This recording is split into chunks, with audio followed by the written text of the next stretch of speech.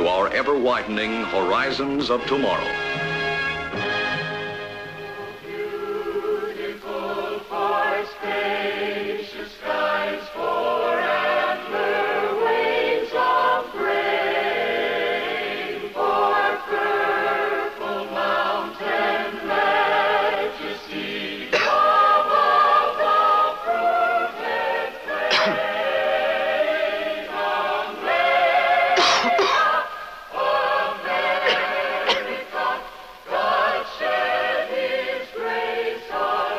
If you want to sing about America, you'd better make sure you have the breath to sing with.